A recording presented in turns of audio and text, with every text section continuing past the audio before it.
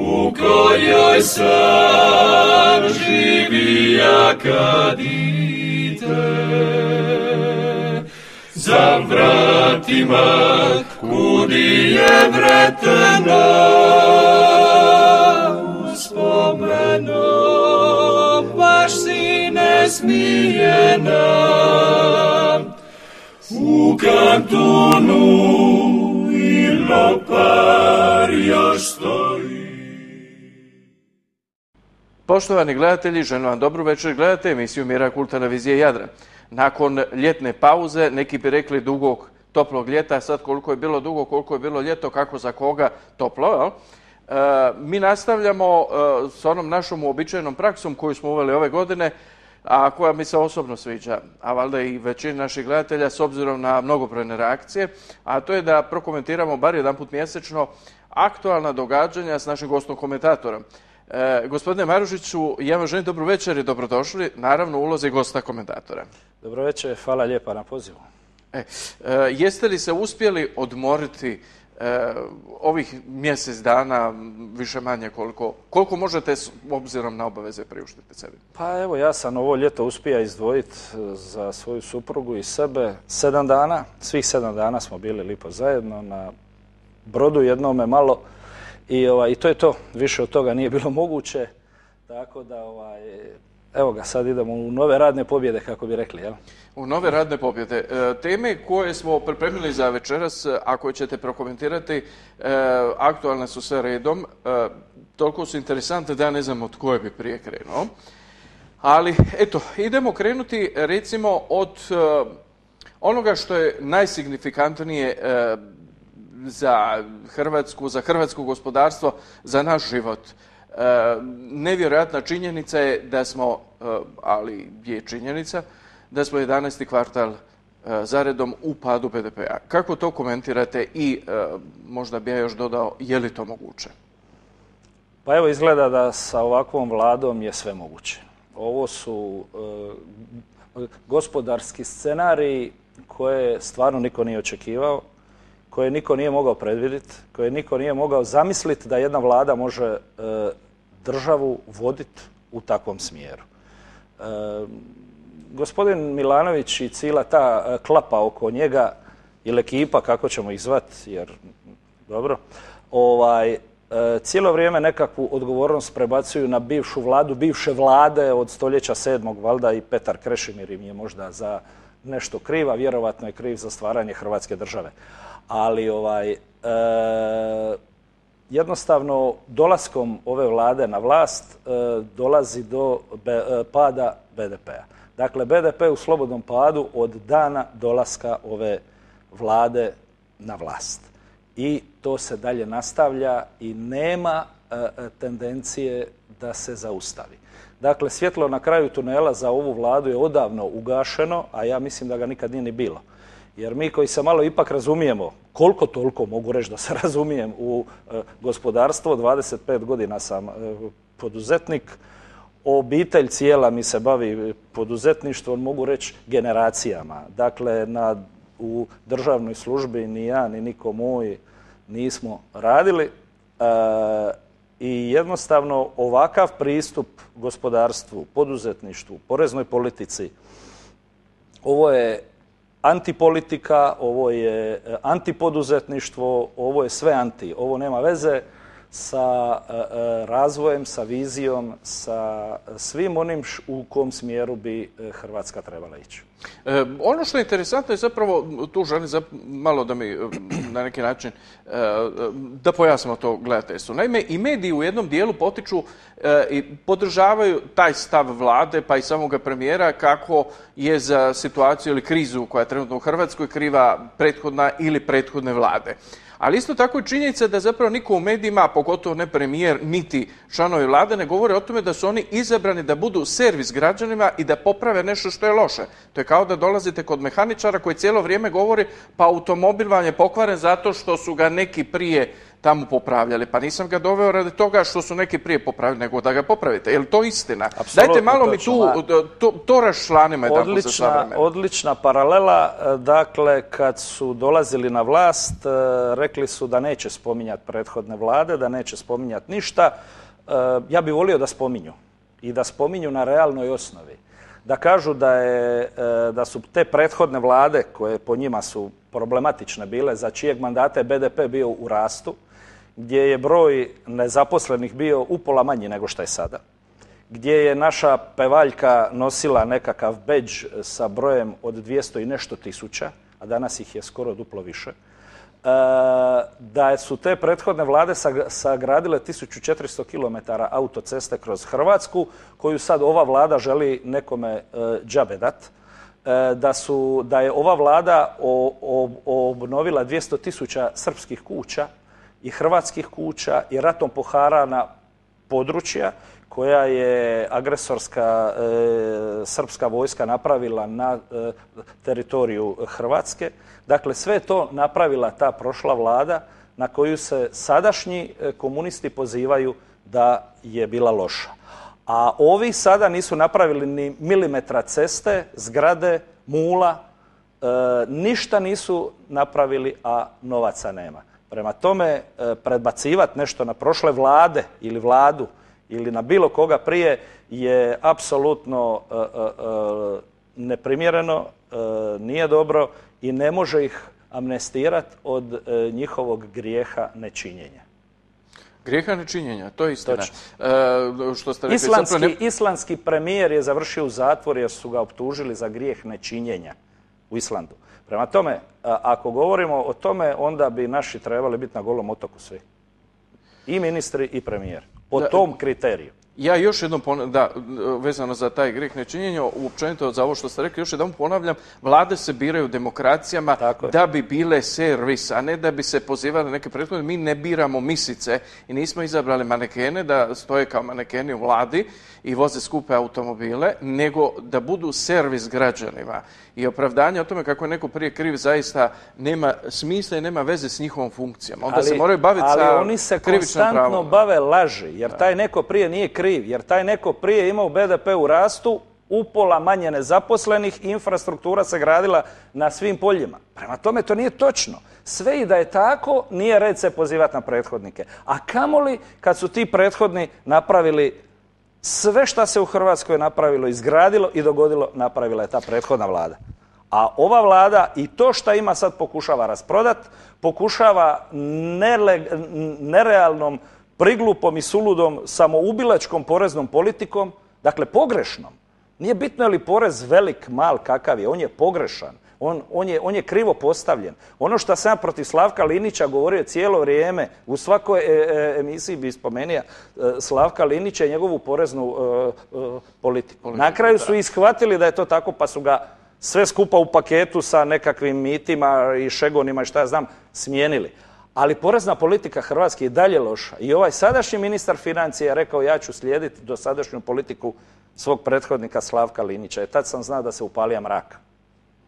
E, upravo ste spomenuli početak e, je zapravo jedne još važne teme, to je porezna politika u Hrvatskoj. Općenito e, i poglavito me interesira kako komentirate ovaj, ovu novu promjenu poreza, a to je porez na plaće. U kontekstu toga i kako zapravo komentirate nešto od čega se ljudima već vani i onoj nekolicini koji bi još htjeli ulagati, ko se diže na glavi, evo sad i Slovencima, a to je da opet iznova imamo nove porezne reforme u kojima uvodimo nove poreze, nove poreze i nove poreze, dakle nekretnina, štednja i tako dalje. E, Jesmo li mi zaista u poreznom smislu skroz luda nacija? Ne. Mi kad znamo e, politički povijesni background, što je prava hrvatska riječ, jel? E, od vladajuće garniture, dakle da su oni e, e, povijesni i pravni sljedbenici komunističke partije Jugoslavije, da su to ljudi koji su cijeli svoj život radili po raznim strukturama, završavali kumrovačke škole i tako dalje, da su živjeli u dogovornoj ekonomiji, onda znamo da oni o tržišnom gospodarstvu nemaju blage veze. Dakle, ja to govorim cijelo vrijeme i to se pokazuje na dijelu. Već tri godine oni dokazuju da u tržišnom gospodarstvu nemaju blage veze. Oni ne znaju prihodovnu stranu proračuna riješiti. I zato je pokušavaju riješiti poreznom presijom. Pa i represijom. Dakle, to se ne radi. E, porezna politika mora biti stimulirajuća. Porezna politika prema onim e, e, gospodarskim granama koji su od strateškog interesa Republike Hrvatske, odnosno hrvatskog naroda, e, moraju biti porezno stimulirane. Ne morate vi meni davati subvenciju. Vi meni samo nemojte uzimati previše nego što ja u toj djelatnosti mogu platiti. Bilo ko. To, to će vam reći svaki pošteni poduzetnik. Dakle, ako mi nisi u stanju iz proračuna dati, ok, ali ne uzimaj preko mjere i ne uzimaj na način koji nije primjeren. Jel? Vidjeli smo u Varaždinu gdje je bilo, počeli su specijalci poduzetnike i mlatiti. Jer je porezni inspektor mu zatvorio štand isto zbog par kuna, šta mu se u blagajni na štandu, na sajmu nije slagalo i čovjek je poludio. Šta će nego poluditi više? Jel? Ovdje čovjek stvarno na tu poreznu politiku i takav vrst porezne presije može samo podivljati. E, porezna politika mora biti stimulativna. Ona ne smije biti represivna. Ovi to ne razume. Oni ne znaju uprihoditi, oni ne znaju pokrenuti investicije, ne znaju pokrenuti e, gospodarski ciklus nikakav, to se dokazuje već nažalost tri godine. Kamo sreća da ja nisam u pravu. Pa da dođem ovdje u sljedeću emisiju i ispričam se svima. Ja sam to spreman napraviti ukoliko oni pokažu, ako trznu išta, na ikakav, e, e, ako pokažu ikakvu gospodarsku strategiju, gospodarske planove. Što više pokazivati ako su izabrani na četiri godine mandata, u tri nisu pokazali ništa. Ništa Mislim, i što neće se to može pokazati, ne može u zadnje se pokazati, jer kažem vam, a da je toliko ma, uh, ma vi, kad, vi kad nekoga uzimate u tvrtku, kad ga uzimate u nogometni klub, kad ga uzimate negdje, vi morate gledati odakle dolazi, iz kojeg e, e, segmenta društva dolazi i šta od njega možete očekivati. Od bivših komunista koji su se navodno e, reformirali, a vidimo da nisu, da im je mentalni sklop ostao isti. Mi ne možemo očekivati tržišnu utakmicu. Jednostavno, ti ljudi to ne razume. Ko šta ja ne bi mogao funkcionirati na Kubi najvjerovatnije ili u Koreji sjeverno ili negdje, jer meni je taj pristup gospodarstvu neshvatljiv. Meni je e, e, za vrijeme istoka bilo nevjerovatno ta, ta dogovorna ekonomija. Ona je nelogična, zato i propala. Zato je propala. A u tržišnom gospodarstvu oni se ne snalaze. Ali dobro, zašto su onda pisali plan 21? Oni su izabrani na temelju plana 21. To je program, to je bilo legalno, legitimno i tako dalje. Dakle, izabrani su ljudi na temelju plana 21. Zašto je neko onda pisao taj plan E, evo, danas kad čitamo taj plan 21, pa to ljudi skoro pa da se počnu smijati, ali s obzirom na to što se postiglo u tri godine. Gledajte, ja uopće ne želim komentirati taj plan 21, e, cilj je bilo... Ali on je donio nekome pobjedu na izborima. Cilj je bilo doći na vlast. Dakle, oni se e, grčevito bore za doći na vlast u državi koju nisu željeli. To samo u Hrvatskoj postoji na, na planeti Zemlji, pa i šire. I šire. I šire, jer ne znam da ima neka planeta u mliječnoj stazi koliko ih ima, da se neko bori doći na vlast u državi koju nisu željeli. Dakle, 25.6. 1991. kad se u Saboru odlučivalo o Hrvatskoj neovisnosti, komunisti napuštaju Sabor i žele da Hrvatska ostane u sastavu Jugoslavije, ne žele samostalnu neovisnu Hrvatsku. A sad se bore za doći u njoj na vlast. I kad su došli sad na vlast, gospodarski, moralno i svakako drugčije je razaraju i devastiraju. To je njihova očita misija. Ja sve manje vjerujem da se ovo događa slučajno. Ja smatram da što njihovi prethodnici sa petokrakom na čelu od 45. Blajburga na ovamo, pa 91. Vukovara i tako dalje, nisu e, uspjeli s puškom, da ovi sad pokušavaju jednostavno nečinjenjem i da nas puštaju da grcamo u problemima u blatu, da Hrvatsku prikažu gospodarski neučinkovitom, nesposobnom da se brine sama za sebe i svoje e, građane kako bi nas mogli, kako oni vole reći, prisajediniti sa zemljama u regionu.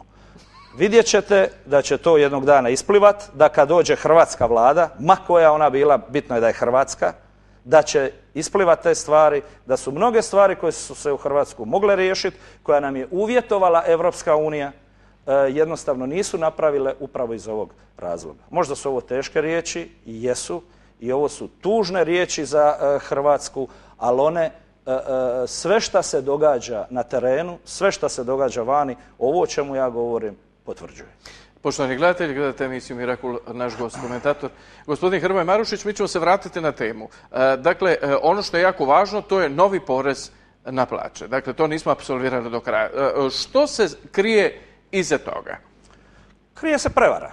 Ništa drugo. Dakle, ponovo prevara i prevara i samo prevare. E, krije se to da je e, vlada se odrekla tuđeg novca.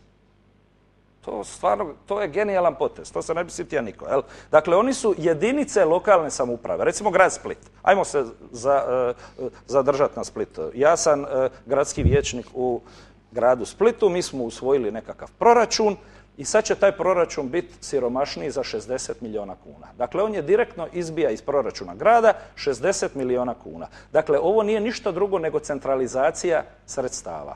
Jedinicama lokalne samouprave je uzeo novce koji će građani kroz potrošnju, kroz posebne poreze i PDV uliti u centralnu blagajnu. Dakle, ovdje se radi uzimanje jedinicama lokalne samouprave kako bi se sredstva prelila u centralnu blagajnu. A to su napravili na taj način i to prikazali kako oni, eto, raj narodu, nama Hrvatima, čine veliku uslugu. Naravno da je radnicima, djelatnicima, vama, meni, svima je drago dobiti 100, 200, 300 kuna više. To je točno. Ja to ne dvojim i ne sporim. I treba biti puno više rasterećenje Rasterećenje treba biti na, na, na osnovnu plaću i do tisuću kuna, jer država uzima nešto e, šta ne vraća građanima kroz e, infrastrukturu, školstvo, zdravstvo, nego vraća kroz uhljebljivanje vlastitog partijskog kadra, koji, koji su nabujali, to je čudo više koliko ih ima. Pa u Banovini danas imate preko 500 zaposlenih ljudi moji. To, je, to je e, mašinerija koja da je sposobna može voditi cijelu državu i još dvije zemlje u regionu, kako oni kažu. Aha, to me mislim, to je nevjerovatan podatak. E, e, dakle, ta sredstva se uprihođuju isključivo za zapošljavanje podobnog partijskog kadra. Ne koriste se za ono za što bi se porezna sredstva trebala koristiti, a to je da administracija bude mala, E, efikasna, nada sve učinkovita, nepreskupa i da ostatak e, sredstava u, u prihođen u proračun prvenstveno od investicija, zapošljavanja, poreza na plaće koji treba biti minimalan, treba izgrađivati Hrvatsku. Ovi to ne rade. Ovi rade upravo suprotno. Prema tome, e, ta farsa od tih miliona kuna koji će se preliti u džepove građana je takva da će sad pojedini gradovi koji su već najavili podignut prirez. Dakle, opet građani neće doći do svojih novaca, a centralna blagajna će se napuniti preko prihoda od PDV-a i posebnih poreza i e, trošarina. Dakle, jedna velika obmana, prevara, baš u stilu komunističke partije. E, ono što možda e, u svojoj ovoj priči oko gospodarstva e, neke čudi, neke veseli, neke ne veseli su zapravo moguće investicije koje bi se mogle dogoditi u Hrvatskoj. Interesantno je da je sam premijer izjavio kako ćemo narednih deset godina E, kako bi se trebalo razmišljati narednih deset godina o tome koje su nam grane profitabilne i kako ih razvijati, misleći pritom na turizam i proizvodnju hrane, kao da to sad nemamo, ali nije Dobro, ne, mogu ja sve ne razumjeti što kaže. Meni je jako teško e. komentirati i jednu izjavu premijera, jer one su na granici ludila. Prema tome. Njega komentirati mi je teško. Čovjek koji kaže na e, javnoj televiziji da e, želi povezati e, hrvatski jug sa Hrvatskom, sa Pelješkim mostom, makar su do prije dvije godine vikali da nema šanse da se sagradi Pelješki most. Mi cijelo vrijeme govorimo da se mora mhm. sagraditi, da se poveže hrvatski nacionalni teritorij. Na dobro, to nam govori Evropa, mislim ali, moraš. Ali, onda se on ispravlja i kaže ne, ne, ne moramo mi povezati Hrvatsku, mi moramo povezati Evropsku uniju. Dakle, on sam se ograđuje od svoje izjave da treba povezati Hrvatsku. Njemu je puno važnija Evropska unija nego Hrvatska. Malo Hrvatska je država hrvatskog naroda i ona je iznad svega. Evropska unija je danas je, sutra nije. Hrvatska mora trajati vječno. Hrvatska više ne smije doći u pitanje. Ne može Evropska unija preuzeti ulogu naše matične države. Evropska unija je jedno udruženje država koje treba funkcionirati na nekoj gospodarskoj osnovi. U načelu je to u redu. To je interesna zajednica, dakle, Apsolutno, koja ima elemente ali političkog, ali i dalje jake nacionalne zajednica. Predstavnike, jakog premijera, jakog predsjednika i jaki Hrvatski sabor, naglasak na Hrvatski. E, počeo sam to govoriti zbog toga što e, postoje određene e, inicijative oko e, investicija, na primjer u naftne platforme. Mi smo prošli put dotakli to. E, to i dalje e, stoji tu negdje iza sceni e, političkih i gospodarskih kretanja u Hrvatskoj. To je zapravo jedna strana medalje. Druga strana medalje je podhitna i ne izostavna monetizacija autocesta. Kako gledate na te dvije, ta dva, ajmo reći, događaja, neki bi rekli incidenta u hrvatskom gospodarstvu koji bi trebali uslijediti? E, Kakav je vaš komentar? Pa ja nisam a priori protiv naftnih platformi, da se razumijemo. Eksploatacija nafte je nešto fino, ugodno, pristojno, e, plodonosno e, i dobro. Ali uvijek postoji ono ali. Gdje? Lako je Dubaju crpiti naftu iz pustinje, iz bilo gdje, gdje nema ništa, gdje i da šta zagadi, nema šta zagaditi. Mogu krepat četiri škorpiona, jel? Mi ovdje govorimo o najlipšem moru na svijetu, o tisućama otoka, plaža, hotela, o turizmu od kojeg jedino Hrvatska i Dalmacija poglavito živi. To je jedini priliv svježeg kapitala, što direktno, što indirektno, 10 milijardi dolara, odnosno eura u Hrvatsku uđe kroz turizam.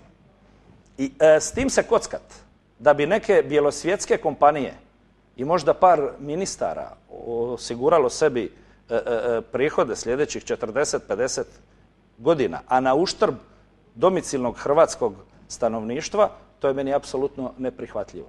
Bar bez provođenja nekih konkretnih studija, istraživanja, potencijalnih mogućnosti problema, šta to znači za turizam, E, koliko bi tih platformi uopće na Jadranu bilo. Bila je prikazana neka karta Jadrana sa nekim zvijezdicama, točkicama, šta li je bilo, koliko bi tih platformi potencijalno na Jadranu moglo biti. Pa to je, bilo, to je, to je bio strašan prizor, to je užas. Sad ću karikirat, ali jel možete zamisliti da e, ispred Visa, Komiže ili Bola bude platforma, mala, sitna, smišna, ili velika, ružna, kakva god. To je jednostavno neprihvatljivo na taj način nuditi Hrvatima jednu takvu priču, državi će se to isplatiti. Pa nisu tu Hrvati zbog državnog proračuna, nego je državni proračun zbog hrvatskog naroda, da nama svima bude bolje. A ne da bi pet ministara od toga ubralo proviziju i osigurali sebi četvrtu e, generaciju. Zato hrvatski proračun i hrvatska država nisu stvoreni, nego su Hrvati stvorili državu hrvatskog naroda, stvorio je prvi predsjednik dr. Franjo Tuđman zahvaljujući hrvatskim braniteljima. I nije stvara za bjelosvjetske moćnike koji će crpsti ovdje naftu, a upropastiti nam ono od čega mi ovdje direktno ili indirektno 80% ljudi živi, a to je turizam. Prema tome s turizmom se ne može niko igrati. I zato kad kažem da ova vla- vlada, da mi se čini da radi protiv e, interesa hrvatskog naroda, onda mi se stvarno čini da sam i u pravu. A nastavak je monetizacija autocesta koja je ona prethodna i prethodne loše hrvatske vlade napravile. Jel? Mi je imamo. Hrvatska prvi put ima najmodernije autoceste u Europi koje služe svrsi. Međutim, ova vlada njima nije u stanju upravljati. Dakle, oni su loši gospodari. Oni ne znaju upravljati državnom imovinom i zato je se žele riješiti i prodati je za judine škude. To je veleizdaja nacionalnog interesa. Jedan ovakav gospodarski resurs dat u ruke bilo kome, pojedincu, domaćem ili stranom, to ne može doći u obzir. E, e, e, e, e, autoceste treba voditi na način da ljeti je cijena koja je, zimi ona treba biti upola manja. Povećat će se promet, povećat će se prihod i povećat će se, šta je najbitnije, sigurnost prometa na cestama. Gdje ljudi za uštediti par sto kuna idu s tramputicama i onda ginu. Dakle, e, autoput treba voditi kako treba i što je postavio jedan e, kolega e, iz Krome, gospodin Ferdelji, ja ću otvoreno reći pitanje koje mi se jako svidilo, to je točno pragmatično, poduzetnički gledano. Zašto se našoj vladi ne isplati upravljati tim autocestama, a nekome ko nama uplati 3 milijarde eura će se isplatiti? Kako to? Zašto bi on onda uprihodio više nego što je... Dakle, ili će otpustiti masu ljudi, ili će dignuti cijene puta pet. Dakle, e, e, na ovaj način kako se nama plasiraju priče i kako se laže ovaj narod u posljednje tri godine, to je nevjerovatno. To je nevjerovatno koje priče se prodaju. Dakle, e, autocestu u nijednoj varijanti se ne smije koncesionirati, monetizirati i bilo što drugo. Koncesionirati, monetizirati, apsolutno da, ali neizgrađene dijelove autoceste, Pelješki most i trasu do Dubrovnika. Naravno, preko hrvatskog teritorija. Jer ovo što nam se nameće priča, autoceste preko istočne Hercegovine, Trebinja, to je ravno ludilu, opet. Ja ne znam. Zašto mislite da je to ravno ludilu? To je ravno ludilu zato jer ja sam prije 20 godina isto živio u Hrvatskoj i bio na tom hrvatskom jugu kad su e, trebinski četnici krenuli na Dubrovnik i pokušali ga razoriti, znate. Da bi izgradili uh, da bi mi sad, Tako je, da bi mi sad njima gradili za nagradu autocestu, da bi im napravili širok pristup prema Dubrovniku, ako im opet kad padne na pamet da mogu tenkovima prije doći. Na te susjede treba tako gledati. I ko ih ne gleda tako, taj je u zabludi. Dakle, ja s tim susjedima ne želim ratovati. Ja o tim susjedima uopće ne želim razgovarati. Ja s tim susjedima ne želim imati ništa. Oni meni ne trebaju. Oni su pokazali ko su i šta su kad su pomlatili Dubrovnik, Konavle i Dubrovačko primorje. E, znam šta je bilo dole iz prve ruke. Prema tome, njima graditi autocestu i da mi preko njihovih kuća moramo se spuštati u svoj hrvatski Dubrovnik. Pa to može reći samo vlada koja radi protiv interesa Hrvatske. To je direktno usmjereno protiv interesa Hrvatske, poglavito hrvatskog naroda kao takvog. Mi e, u slučaju bilo kakvih E, e, geostrateških, geopolitičkih poremećaja sutra u Europi, vrlo brzo će se opet okupiti oni u Trebinju i kudli sve ne i krenut prema Dubrovniku. Prema tome, nama oni ne trebaju, mi s njima ne trebamo graditi nikakvo bratstvo i jedinstvo, gospodarsku suradnju s njima nemamo nikakvu, nek žive kako žive, Bog im da zdravlje. Nek žive svi po milijon godina u sreći i e, blagostanju, ali šta bi oni rekli daleko im kuća. Nekih tamo, mi ćemo svoju cestu graditi preko naše zemlje. Ne mogu ja preko vaše parcele graditi put, put za doći do svoje kuće. To ne može niko, nikome pas na pamet, a imam vlastitu parcelu preko koje mogu napraviti da, ali, ne ali, ali gospodine Marušiću, interesantno je zapravo da u cijeloj ovoj priči, e, kada govorite o, i kada se govori zapravo o autoputu prema Dubrovniku koji bi navodno trebao ići preko istočne Hercegovine. E, općenito kad se govori o toj jadranskoj i onskoj cesti, e, zapravo se jedna stvar e, zaboravlja koja, koja, odnosno dvije stvari se zaboravljaju, pa vas molim da to prokomentirate. Prvo, ta cesta koja zaobilazi Dubrovnik i koja ide prema dole prema Crnoj Gori, odnosno preko Trebinja i tako dalje, definitivno dobar dio gostiju će odnositi Crnu Goru, Albaniju i Grčku. Jer de facto nikome se neće dati silaziti s te autoceste u Dubrovnik prelazeći dva ili tri granična prijelaza, nego će jednostavno nastavljati. To je i logika same autoceste. Autoceste tako i funkcioniraju da ljudi voze do kraja. Odnosno da idu na što dalju destinaciju, da što brže stignu, što znači da zapravo bi ta autocesta, ako bi tako išla, praktično odnijela jedan dobar dio turizma na koji Dubrovnik računa. To je jedna stvar. Druga stvar, E, govorimo o, o autocesti koju će isfinancirati navodno evropske institucije ili nekakvi privatnici, a Hrvatska zapravo toga neće imati ništa jer je Hrvatska sama već isfinancirala dobar dio te ceste i još je daje u koncesiju, odnosno u monetizaciju. Dakle, mi de facto svih tih zemalja nemamo u toj priči ništa.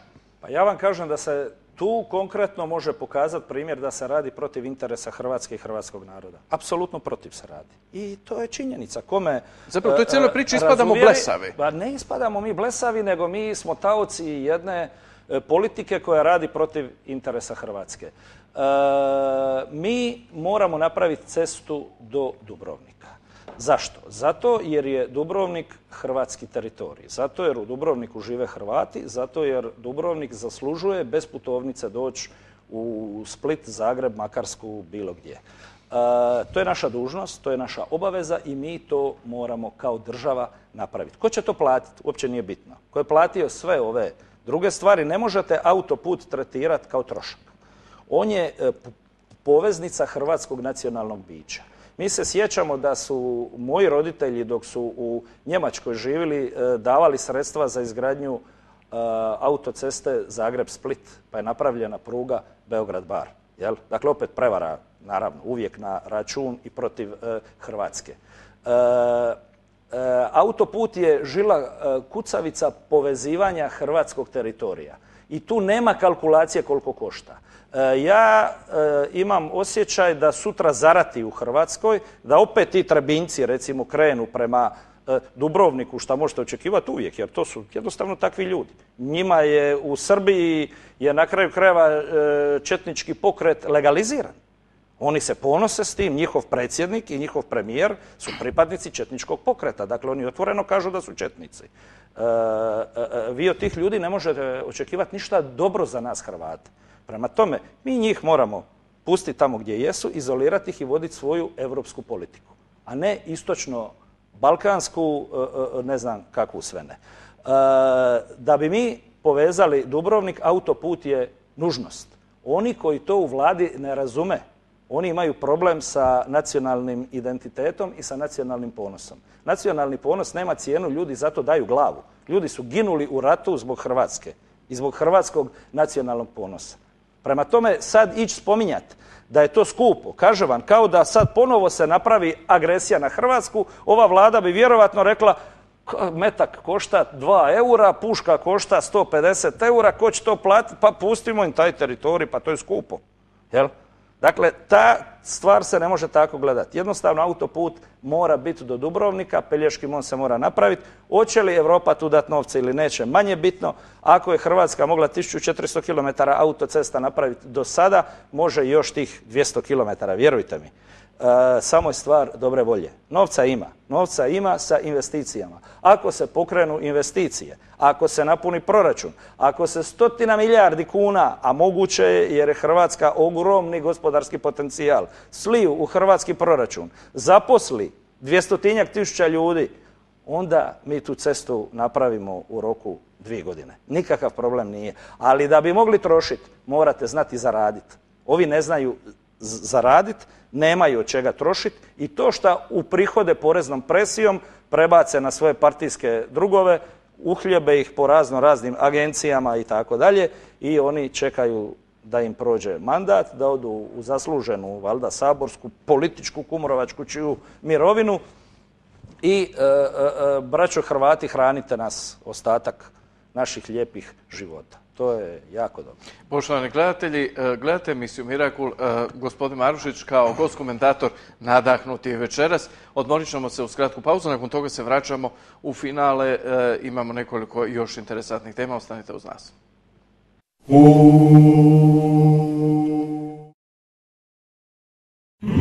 Prvi put sve jasno vidim Prvi put u tisluću bojan Jer najveće blago čuva. Najdraža mi svjetlost moja. Ljudi nam vjeruju. Jer smo i mi skinuli dioptriju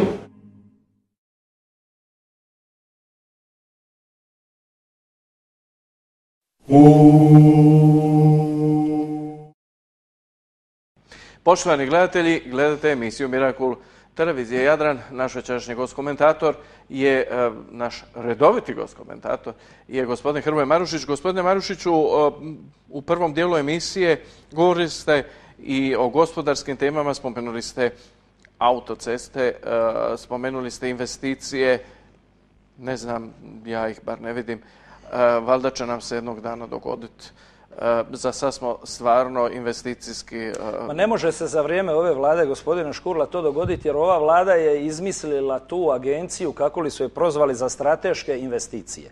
Pa su rekli, sad sve preko 20 milijuna eura, je strateška investicija i ministar osobno će investitora za ruku voditi i rješavati sve njegove probleme.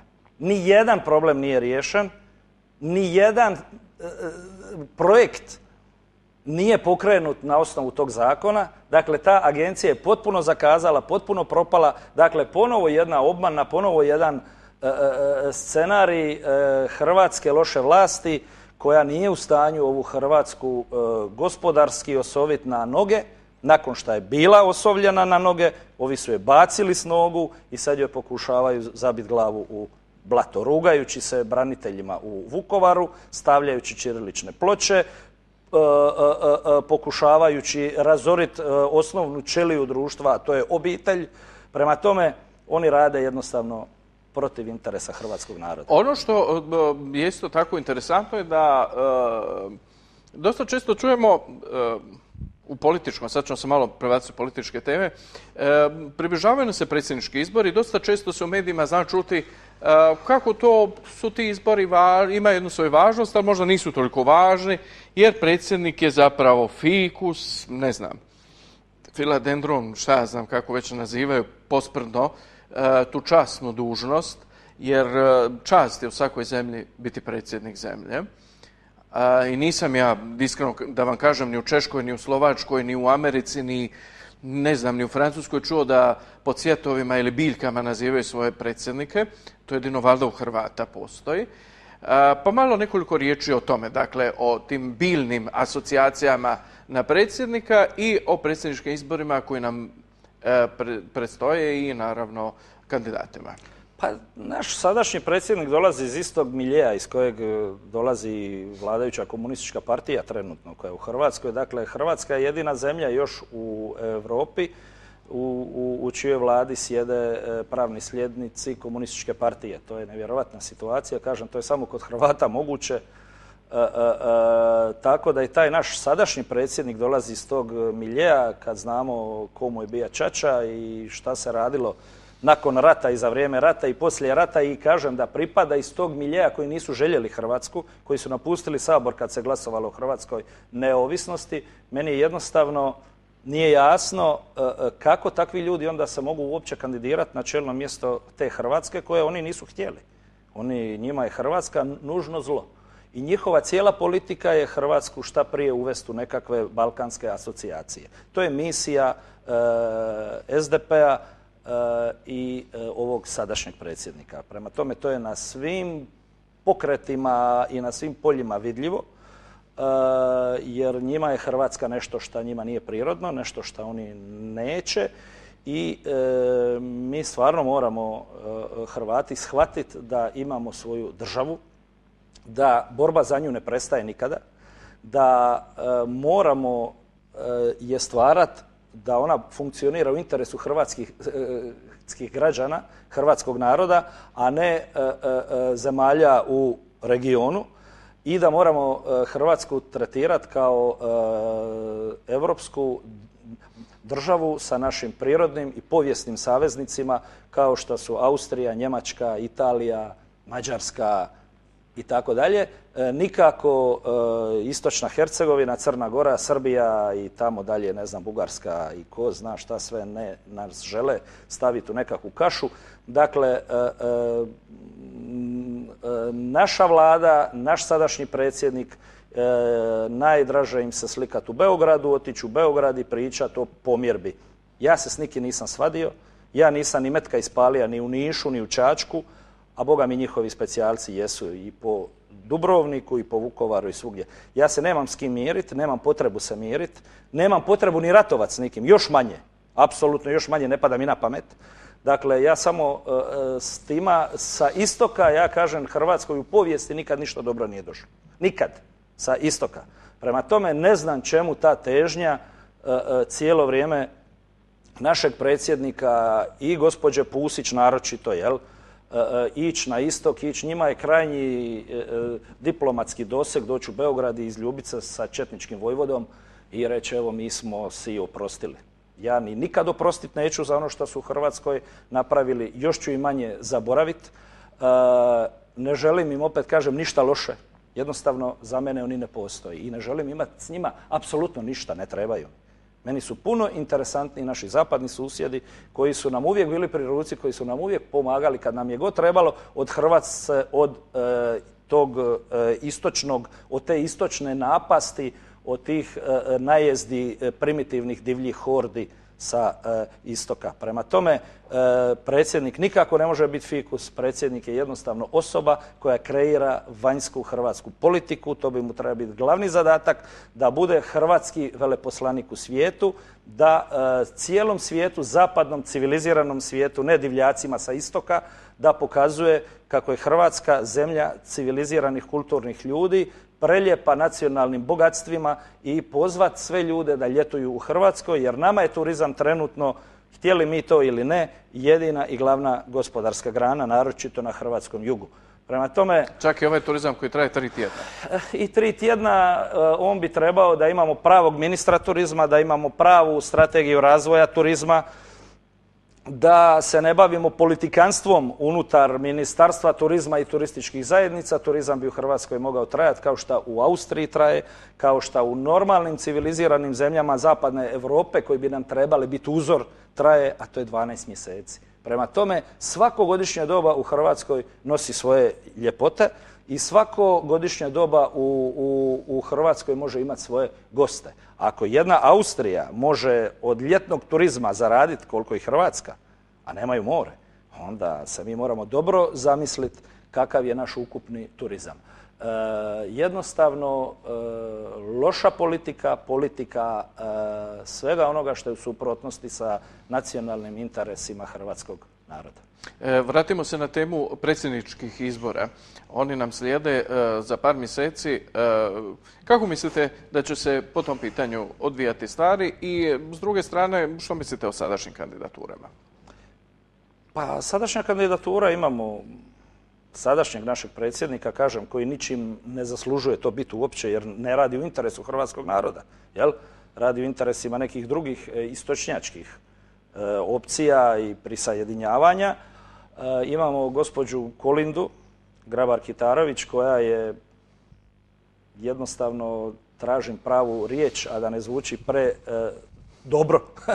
dakle, jedna osoba koja apsolutno zaslužuje to mjesto, koja ima i političkog iskustva, koja ima e, svjetskog iskustva, koja je svjetski diplomata najvišeg ranga, osoba koja voli Hrvatsku, osoba koja želi Hrvatsku i osoba koja je spremna staviti se na čelo hrvatskog naroda i upravo raditi na ovim pitanjima o kojima sam govorio, dakle biti najbolji pa i najljepši u ovom slučaju sigurno e, hrvatski veleposlanik u svijetu i propagirati Hrvatsku kao zemlju, državu hrvatskog naroda, naroda koji se izborio za svoju slobodu, koji živi u preljepoj zemlji, koju treba sad početi e, društveno održivo baštinit, koristit u interesu svih nas koji ovdje živimo. E, imamo trećeg kandidata koji se pojavio, e, doktor Kujundžić, koji je kao osoba, kao čovjek,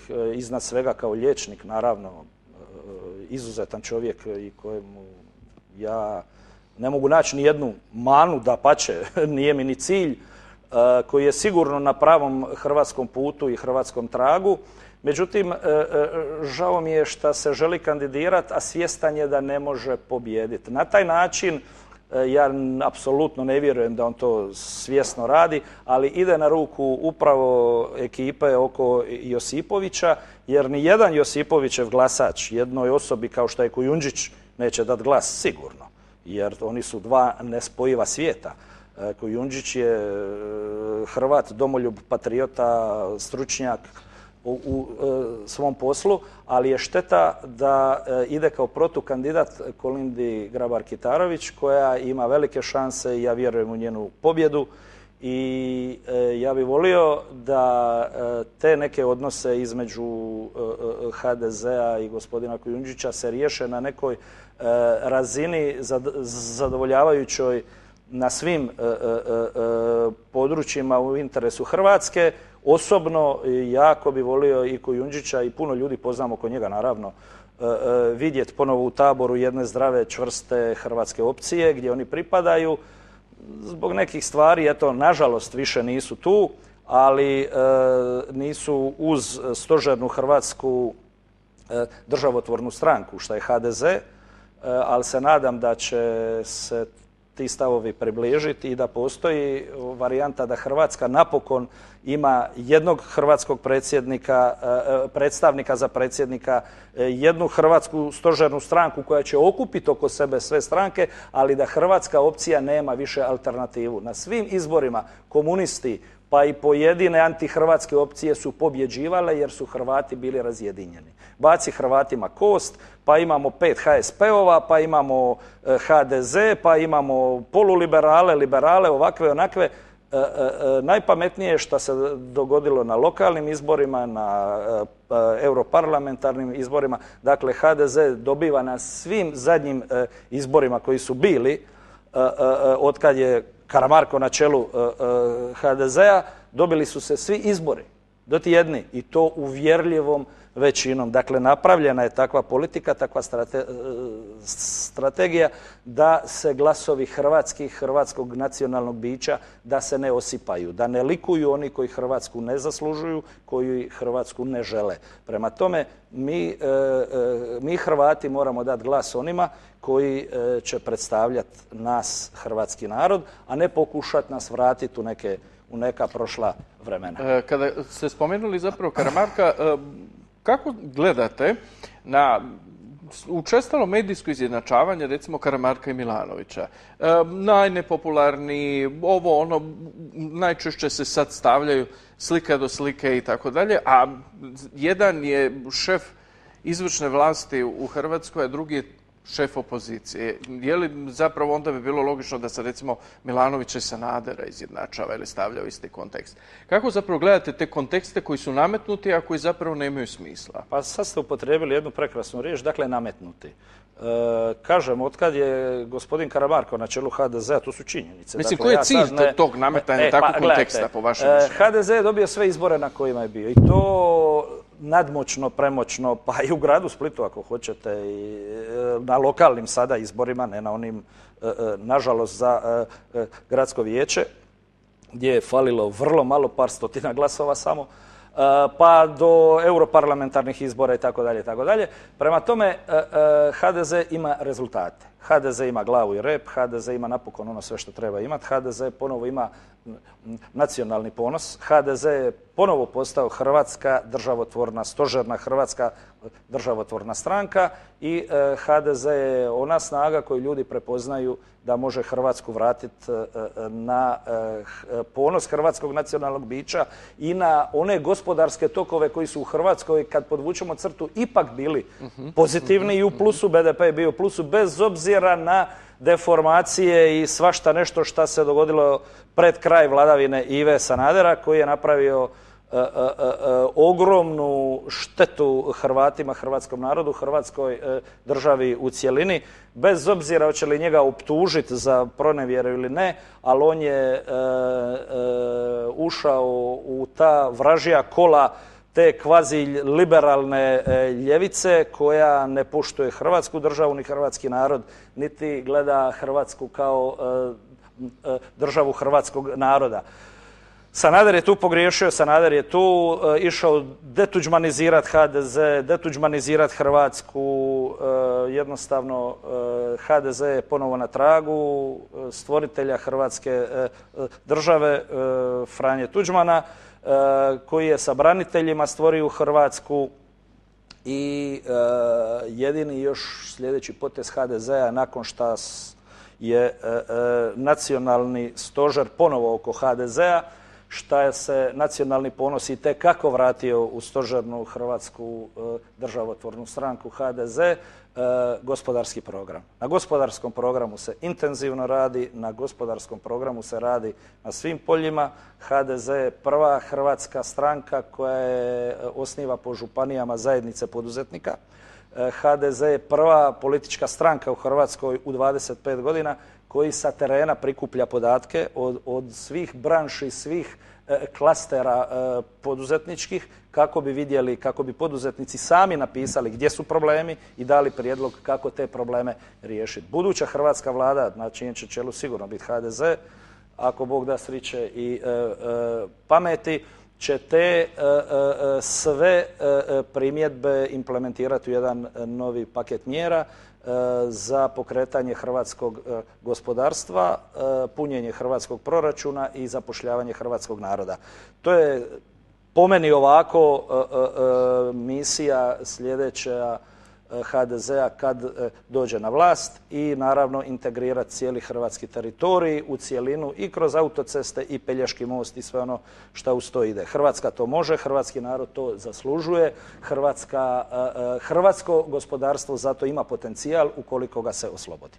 E, niste mi na kraju zapravo do kraja absolvirali ono što sam rekao, izjednačavanje, ujednačavanje... Ne mogu o tome pričati, to je teško pričati, to je ko da izjednačavate Mesija i nekoga iz E, Hrvatske četvrte lige koji igra zadnjeg e, bezveznog. Prema tome, to se ne može uspoređivati. E, Karamarka oni ne žele prihvatiti kao lidera, jer HDZ toliko premoćno vodi nad svima ostalima da još kad bi Karamarko bio takav kakav je, kakav bi oni htjeli da ne bude, onda bi oni imali problem. Ali Karamarko sam je rekao, pa ću ja ponoviti te riječi, ako je moja nepopularnost danak tome da HDZ i Hrvatska budu prosperitetni, onda nek ja budem nepopularan. E, Karamarko, e, po meni, sad će ovo možda zvučati malo i pretenciozno, ali e, po meni bi se trebao više obraćati javnosti i onda bi ljudi puno više vidjeli kakav je on. O njemu javno mijenje, nažalost, rade neki mediji koji, o, koji njemu i Hrvatskoj uopće, a naročito HDZ-u ne žele dobro on bi morao, e, e, e, kad s tim čovjekom popričate dva, tri puta, onda vidite da on i tekako ima u sebi svega onoga šta mu upravo ti mediji spočitavaju da nema. Ima, vodi HDZ kako treba, radi na nacionalnom jedinstvu što je jako, jako, jako važno i radi na tome zajedno sa glavnim tajnikom, gospodinom Brkićem, da e, HDZ e, prilikom preuzimanja vlasti donese gospodarski paket mjera koji će Hrvatsku izvući iz ovog blata. E, ja tvrdim odgovorno da je to pri kraju. Glavne smjernice su već nekoliko puta i pokazane na raznim forumima.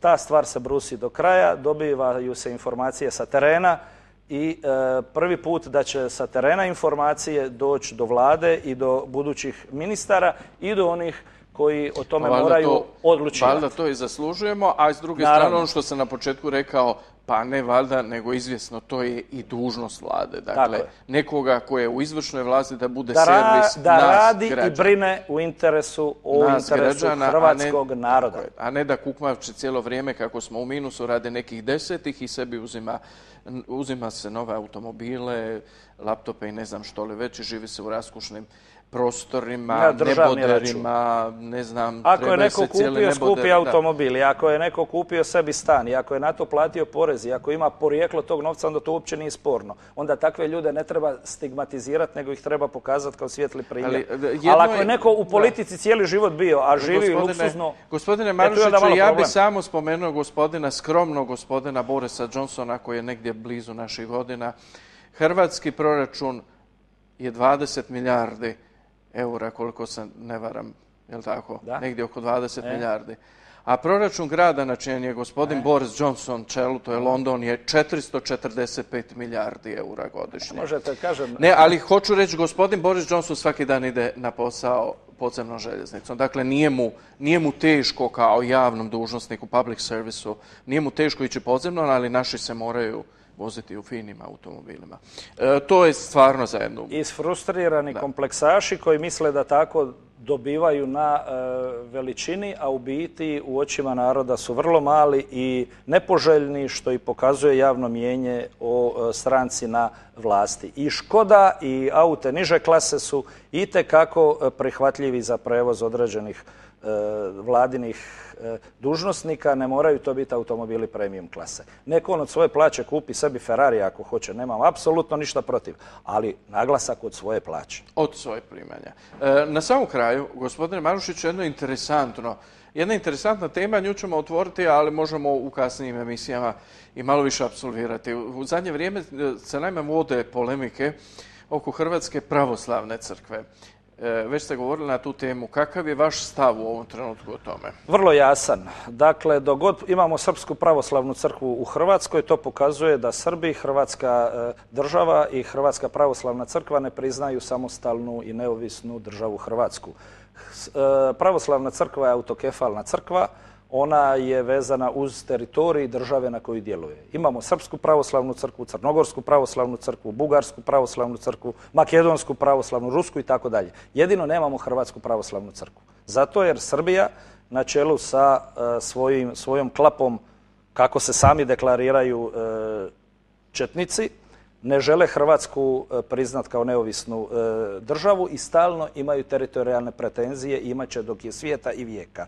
Zato e, s njima treba kako treba. Hrvatska pravoslavna crkva je budućnost, Hrvatska pravoslavna crkva je realnost. Čovjek ako je Hrvat, on može biti vjeroispovijesti koje god hoće. Može biti katolik, može biti pravoslavac, može biti musliman, musliman apsolutno, može biti e, protestant, može biti anglikanac, može biti što hoće, ali on je Hrvat. Uzroci svih zala oko Knina su upravo ukorijenjeni u tome. Šta ljudi koji su pravoslavci u okolici Knina sebe doživljavaju Srbima.